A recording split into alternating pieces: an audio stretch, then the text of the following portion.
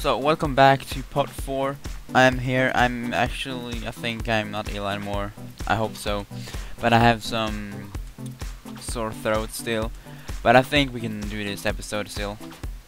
So in the last episode we got ourselves an AWP boom, which was sick. So I got a lot of requests on doing like tips and tricks episode. So I'll, I'll actually decided to make this episode for a tips and trick episode.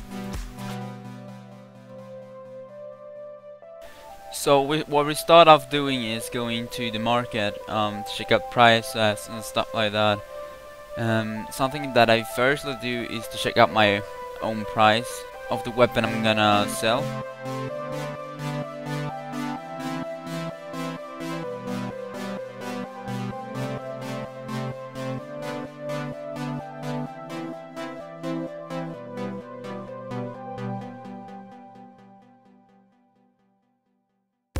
So after I found my own weapon, what the price of it is, I'm uh, starting to look out for weapons that I might be interested to, to, to buy.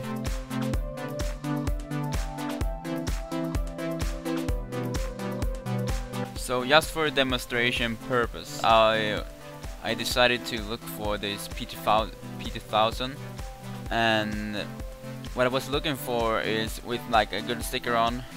So I found this guy who had like a nip sticker on and the nip sticker the just the regular sticker is worth like 2 euro. So it could be worth more than uh, the actual price. It's actually up to the buyer if he decides if it's good or not. So what you're doing is that you're adding him for friend and you waiting wait for him to answer and then you try to be really really nice to them.